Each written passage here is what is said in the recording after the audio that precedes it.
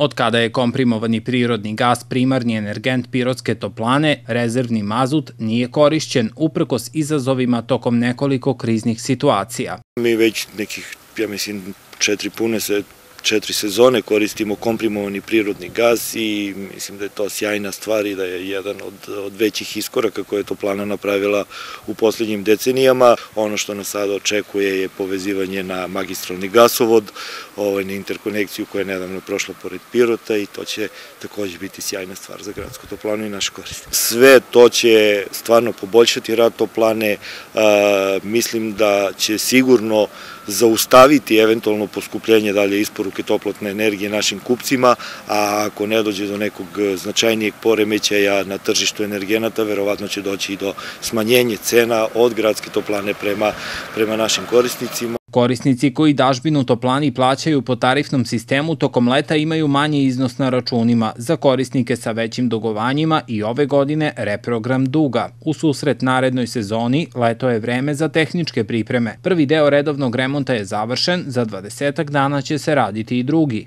podstanice u naselju ATP koja je ovaj, direktno vezana za a, novi sajamski prostor koji će u budućnosti biti priključen. Ja već očekujem za nekih a, par meseci, odnosno pred ovu grejnu sezonu. Tako da je puno aktivnosti u, u, u ovom letnjem periodu, iako se to naravno ne vidi, ali ovaj, to je ono što moramo da uradimo kako bi spremno dočekali sledeću grejnu sezonu.